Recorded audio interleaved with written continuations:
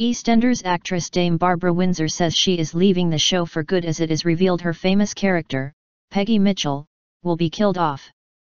Viewers saw Peggy make a surprise return on Friday night when she told her son Phil her cancer had returned.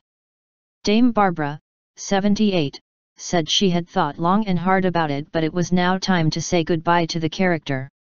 She joined the soap in 1994 and played the character full-time until 2010. She has since made occasional returns.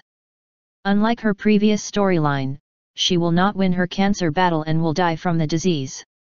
Peggy is a character close to my heart but I made the decision a while ago that I need to say goodbye to her once and for all, as otherwise she will always be there, urging me to go back, and that is something I need to shut the door on, Dame Barbara said. She said EastEnders executive producer Dominic Treadwell Collins had accepted her decision and they had been secretly plotting Peggy's last scenes since the summer.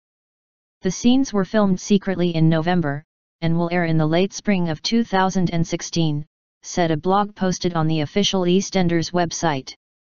Dame Barbara said she wanted the role to end while Mr. Treadwell Collins was still working on the program.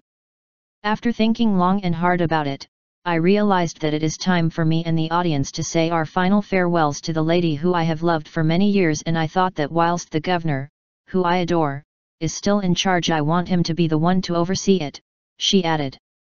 Born in East London, Dame Barbara made her West End stage debut at the age of 15 after training in drama and dance. In the 1960s and 1970s she appeared in a series of TV sitcoms and the Carry On, comedy films, before becoming a household name to a new generation of TV viewers through EastEnders. Treadwell Collins said, Barbara is the real governor of EastEnders. So when she told me her decision back in the summer, we both had a little cry before getting excited about how Peggy Mitchell, the matriarch to end all matriarchs, could bid her final farewell to Albert Square.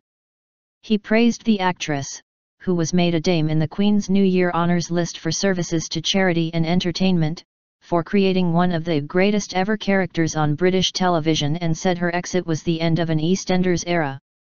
He added that Peggy's departure would be one of the most heartbreaking, uplifting and epic exits an EastEnders character has ever had. As the Mitchell family matriarch, Peggy's biggest storylines have included her battle with breast cancer, her marriage to Frank Butcher, her feud and friendship with Pat Butcher and her marriage to Archie Mitchell, which resulted in the family losing the Queen Vic pub.